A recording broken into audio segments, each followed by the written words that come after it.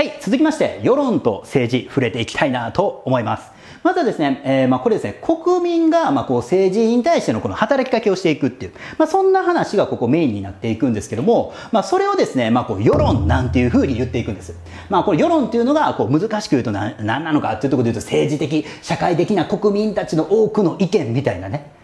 うん、なんかちょっと難しいやんっていうことで、これはどういうことかっていうと、国民がですね、えー、まあこう政治に対してどう思ってるのかっていったところの意見っていったところを、まあこう、えー、内閣とかにこうぶつけていくっていう。でそういうのをこう世論っていうふうに言っていくんですね。で、その世論をこう、まあ、そういうこう、国民たちのこの意見っていうのを、まあ、こうどういうふうにこう、まあ、学んでいくのかとか発信していくのかっていうところでこうマスメディアがですね大きく影響を与えてるんですよ。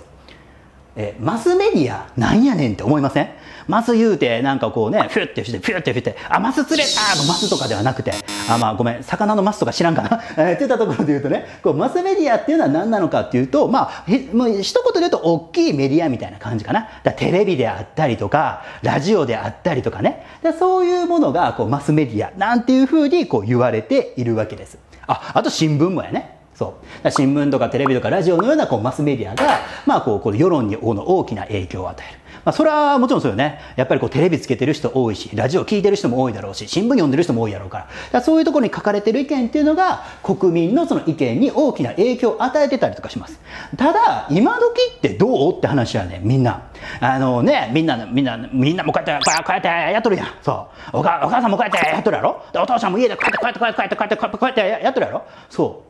SNS や。今で言うと、この SNS とかで、まあ、それぞれこう個人に対してのこの発信とかも行われてるよって言ったところ。だそういうこう SNS での発信などで、まあ、こう国民にいろんな意見を与えてるまあ、そういうのはですね、まあ、ちょっとまあ、覚えておいてほしいかなと思います。あとはね、圧力団体っていうのが、まあちょっとありまして、これはね、ちょっと昔の話になるんだけど、まあその共通の利害を持った人々が構成する組織。まあその組織力をこう背景にですね、自分たちの利益を実現しようっていう。だからなんか、まあこれを達成したいために、こうちょっと、なんてやろう。あの、こう言葉に困りますけれども、ちょっとまあ、ね、あの街中で宣伝したりとか、かそういうことをやっていってるようなこう圧力団体っていうのがあるんやけれども、でもこの圧力団体って今ちょっとやっぱり活動が収縮してて、まあ結構数は少なくなってます。ただ、その分気をつけておかないといけないことが一つありまして、それがですね、メディアリテラシーです。はい、みんなどっか書いておいて、メディアリテラシーな。OK? カタカナやで。メディアリテラシー。OK? いけたな？はい。で、このメディアラシーっていうのは何なのかっていうと、まあ、インターネットとかでも特にね、インターネットとか SNS 上でこう情報を収集します。で、その情報って言ったところを全部鵜呑みにしたらあかんわけですよ。例えばやで、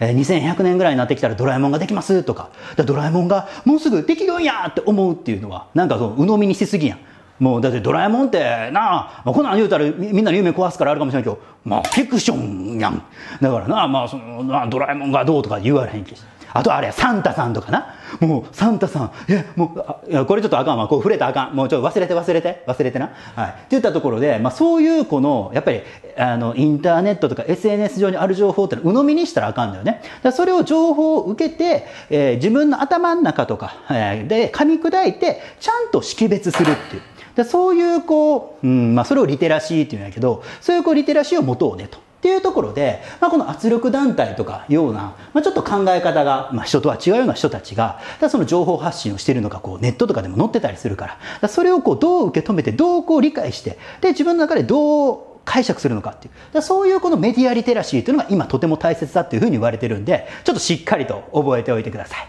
はい。そのためにも、しっかりと学校のテストの勉強したりとかね。そういうのってめっちゃ大事ですから。はい。頑張って勉強やっていきましょうね。